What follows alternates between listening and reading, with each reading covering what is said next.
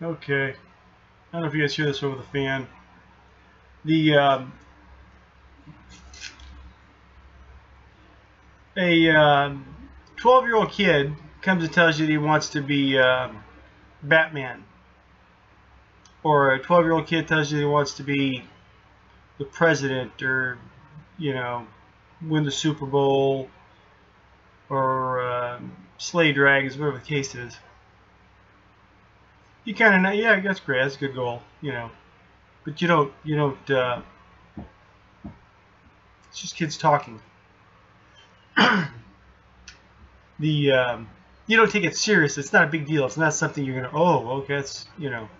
And maybe they could become all those things, but you know, they're 12 years old. They got a whole lot of life left to live before they become whatever they're gonna be.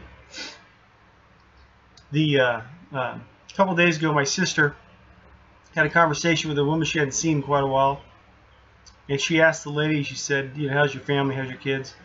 and the lady said, "Well." we've just uh, our our son has just notified us that he is pansexual. I don't know what pansexual is, but my sister said it's uh, attracted to everything everyone. No distinction or something like that. pansexual.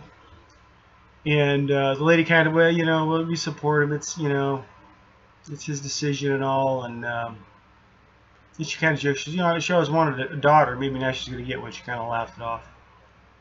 But the kicker was, she told my sister that, or my sister told me the son is 12 years old. 12. And, um, you know, I don't, I don't think it's, the reason I make this video is I don't think this is an organic thing, an instinctive thing. I don't think the, a 12 year old is thinking about his sexuality. Gee, where do I fit in? Okay, I think they're fed this stuff. I think they're taught this, or these doors have been opened for them that now they got to close or go through, whatever the case is. And because uh, all of a sudden it's this new thing. These young kids are coming out saying this, that, and the other thing. And I think it's just bogus. The um, I don't think the I don't um, at 12 I was playing with Legos. I couldn't spell sexuality. But it's I don't have we not put all this stuff in front of them, they wouldn't be making these decisions. Okay. On top of that, I think there's going to, in another 10 years, we're going to get the end result of a great many people that made big decisions like this when they were 9, 10, 11, 12. Shouldn't be making big decisions, but these people, these young people make big decisions, and the family supports it, the kid is 12 says he's pansexual, then he gets to maybe 19 and thinks, no, I'm not. Why did I do that? Why did somebody kind of, you know, a little more guidance there or something like that? I think if a kid came to me and told me he was pansexual, I'd say, you need to go back to the chalkboard.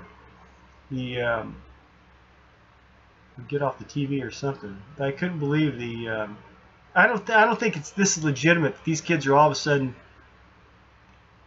questioning their sexuality or questioning their gender. Maybe that's what it is. This they're questioning their gender. I think that's just a bunch of baloney. Kids can see each other. That's a boy. That's a girl. They figure this stuff out. We load all this other junk on top of them, and uh, I think just confuses the matter. And now all of a sudden you have all these people. It's like a, it's like a new fad, you know. But I think you're gonna have a whole bunch of people down the road that fell into this trap that maybe they weren't gay or weren't transgendered or weren't ABCD, whatever the deal is. And they're going to look back, gee, I really made a mistake here. This was foolish.